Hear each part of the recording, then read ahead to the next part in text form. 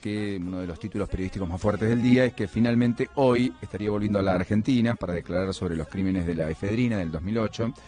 La propia ministra Patricia Bullrich ha confirmado que lo va a hacer en el día de hoy y no ha descartado el programa de testigos protegidos para el que está sindicado hasta aquí como autor intelectual de tres homicidios cometidos en aquella trama criminal que llega hasta el cártel del Chapo Guzmán en Sinaloa, México y roza la campaña de la mismísima expresidenta Cristina Fernández de Kirchner del 2007.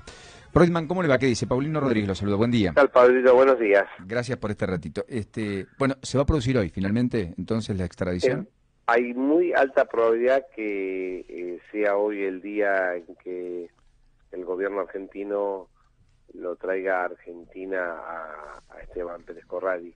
La realidad es que a partir de hace un ratito ya estaban firmando por la fiscal ya había firmado la por el criterio de oportunidad que no hay ningún problema contra la entrega porque ayer el juez de la extradición firmó que quedaba supeditada a la causa que tenía de los documentos y que por mm. una cuestión de criterio de oportunidad no había óbice para que fuera entregado.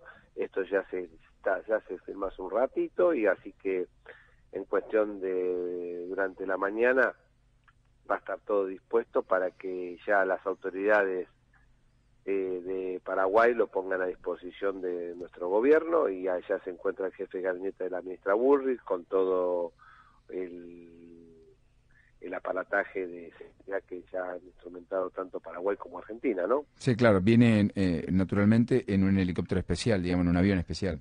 Viene, yo mandaron un avión de gendarmería especial que creo que llegó anoche Exactamente. a Paraguay. Eh, eh, ¿él va a pedir eh, ser parte del programa de testigos protegidos como ocurre con Fariña o no? Mira, lo que él pidió primero es no ser alojado en el Servicio Penitenciario Federal porque ha tenido cantidades de problemas serios mm. durante su estancia cuando estuvo en condición de detenido.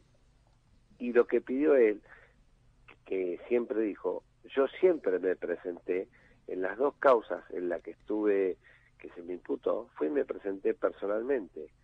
En la primera con la extradición y en la segunda con la de los medicamentos. Nunca tuvo que ser perseguido hasta que también se presentó en la del triple crimen y el fiscal Vidone, el que tuvo la controversia con Bernie, el mismo, nosotros cuatro días antes que ordenara su detención, a nuestro pedido después de haber realizado cuantiosas solicitudes y hablar con el fiscal general de Mercedes, mandó un certificado a la doctora Rosa Salgado donde decía que no estaba formalmente imputado. Y a los cuatro días armó todo, desplegó después de un año de investigación por una testimonial, lo mandó a detener y después, como dijo Pérez Correa, direccionó, apretó, eh, direccionó pruebas y testigos que llegaron a un mm. de valorar un juicio en ausencia de donde determinaban una responsabilidad sin serla ni penarla, pero en definitiva fue un juicio en ausencia de Pérez Corradi sin siquiera ser indagado. Ahora, Brodman, este, ¿de qué vive Pérez Corradi? ¿Qué le dice usted? Porque, digamos, él dice que no es narcotraficante, que, o sea, desconoce todo eso, ¿o me equivoco? ¿O reconoce que es un narcotraficante? que, Él no reconoce que es narcotraficante. La, la responsabilidad... Mm, acá hay un antes y un después y hay un quiebre en muchas cuestiones.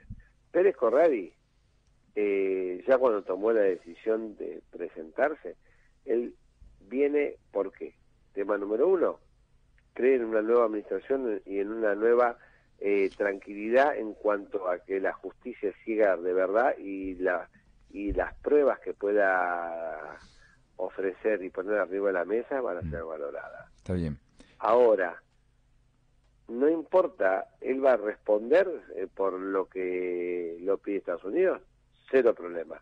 Por el tráfico de Fredilena, cero problema. Por el tema del cambio de los cheques, cero problema. Por los cheques de la campaña, dará explicaciones, no defenderemos, no defenderemos, eh, se valora la responsabilidad, bárbaro. Ahora, en el triple crimen es algo que jamás tuvo participación y esto lo lleva en en una sola vía. Él tiene que ahora aclarar y acompañar pruebas, que capaz esas pruebas mm. llevan a conexar a otras causas que hay nosotros vamos a evaluar en calidad de qué va a declarar, porque va a ser parte también de su defensa y que capaz favorece el esclarecimiento de otras causas. Ah, está bien. Ahora, ¿cuántas causas tiene Pérez Corradi abierta? En Argentina tiene dos abiertas formales. La de lavado de dinero y la de triple crimen. Y hay otra que está en investigación. Hay otra que está en investigación, que es una que se abrió lo del doctor Caputo, que es por el tema de Fedrina con referencia a los hermanos Lanzata. Correcto. Pero esa todavía no hay una imputación formal hacia él, hay una investigación que puede estar investigado. Mm, ¿Por qué vino a Argentina? por los dos pedidos de extradición. Nosotros como defensores te decimos ahora que más allá que le prohíbe la ley y no podrían juzgarlo por ningún otro hecho, Pérez Corradi se va a allanar a cualquier reclamo de cualquier juez de la justicia argentina. Bueno, lo que corresponde, naturalmente. Pero, no, pero mm. ley está protegido. ¿Me va siguiendo? Es como cuando vos haces extradición, un pedido de extradición, vos no podés jugarlo más que por los hechos por los cuales pediste la extradición. Sí, correcto.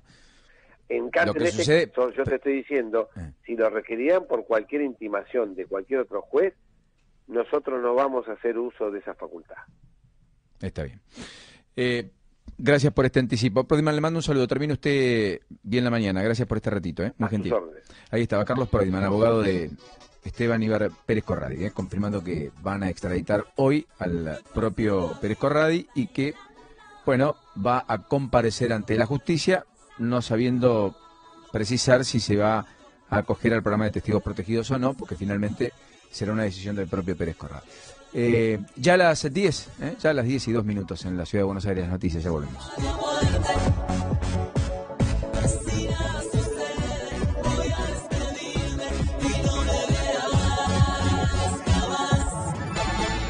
diario26.com.ar.